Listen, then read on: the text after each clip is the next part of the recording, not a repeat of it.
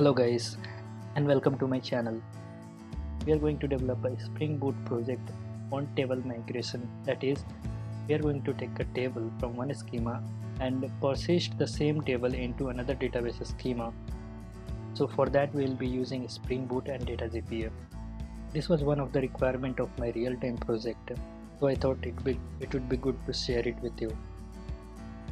So the requirement was something like this Data coming in form of XML feeds are saved in a database table. Data of that table has to be moved to another database for further processing and manipulation. We'll see the high level diagram of it. So we have a client database which is having two tables. Let's say the tables are employee and location. These tables are coming in the form of XML feeds and it is saved in the client database. Both the tables has to be migrated to uh, application database where this two tables has to be used for further processing and manipulation. As this is client database we are not authorized to use this database directly.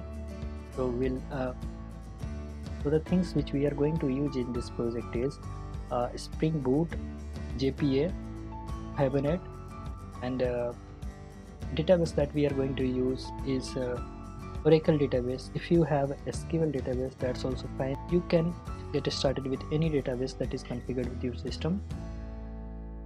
And the things which we'll be learning in this project is uh, disabling the default data source configuration of a Spring Boot. Then we will define our own data source for that purpose. And also we are going to learn configuring two data sources in a Spring Boot application and also you will be learning so many annotations in this project like auto-wired configuration repository primary entity uh, rest controller and so many other annotations you will be learning in this project. So stick with my channel and i promise you will be expert in spring boot. With this promise uh, let's start with our project